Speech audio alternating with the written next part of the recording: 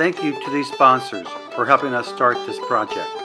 Now, because of your generous support, we can complete this collection of oral histories. In July 1863, Pennsylvania was not the only northern state invaded by the Confederacy. During the same month, Ohio was also invaded.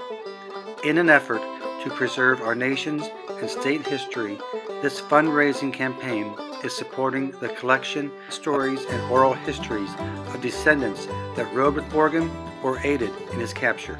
Prior to joining the Confederacy, my second great uncle, Micajah Griffin, was a member of the U.S. Army. Griffin rode with Ward's 9th Tennessee Cavalry under General John Hunt Morgan. In addition to Kentucky and parts of Indiana, Morgan and his raiders traveled through Ohio Appalachia counties.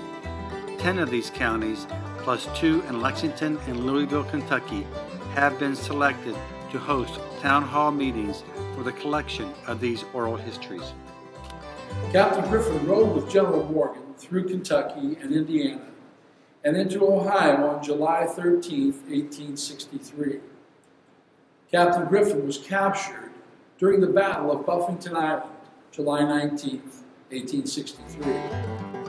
This fundraising initiative seeks to increase the awareness of Morgan's raid in Ohio through education, aid in the preservation of the John Hunt Morgan Heritage Trail, and increase tourism and economic development within Appalachia, Ohio.